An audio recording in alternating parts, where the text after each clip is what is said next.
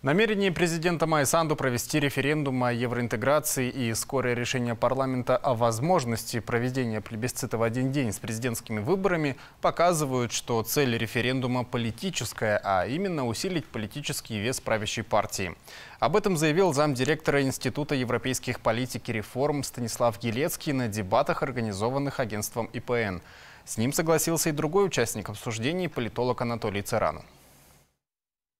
Totuși pe lângă scopurile стратегические национали. Помимо стратегических национальных целей, власть имеет и явную политическую цель – политически продвинуть нынешнюю партию власти. И учитывая, что парламент решил, что референдум может пройти в тот же день, есть элемент продвижения партии власти. По словам экспертов, в противном случае были бы проведены дискуссии в обществе, и кодекс о выборах в этой части был бы изменен конституционным большинством. Când acest lucru nu există, evident că apar... Когда этого нет, то, безусловно, появляются вопросы об искренности унификации дискуссий по этому вопросу. В свою очередь, политический аналитик Анатол Цирану также считает, что референдум по вопросу евроинтеграции Молдовы, который хочет провести Майя Санду, имеет ясную политтехнологическую подоплеку. Фактul că ideea referendumului a fost lansată то, что идея референдума была запущена одновременно с согласием Майя Санду баллотироваться на пост президента Республики Молдова на второй срок, невольно наводит на мысль о том, что эта инициатива была скоррелирована очень точно с избирательным интересом президента и ПДС. И отсюда идет следующий вывод. Эта инициатива имеет ясную политтехнологическую подоплеку.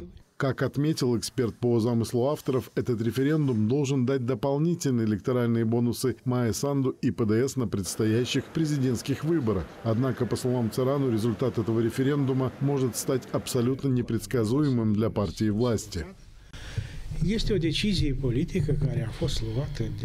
Это политическое решение принято политическими игроками, которые преследуют свои цели и в том числе несут ответственность за возложенные риски.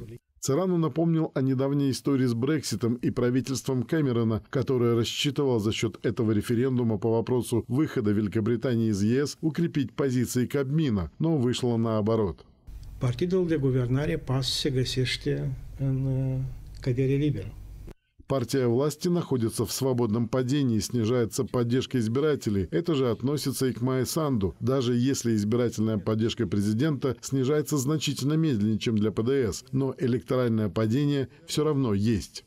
Церану также добавил, что этим референдумом планируется поднять рейтинг и Санду, и ПДС. Но проблема в том, что домашние расчеты не всегда совпадают с рыночными расчетами. На момент подготовки сюжета к эфиру пресс-службы парламента, администрации президента и ПДС не прокомментировали в публичном пространстве заявление Станислава Гелецкого и Анатола Царану.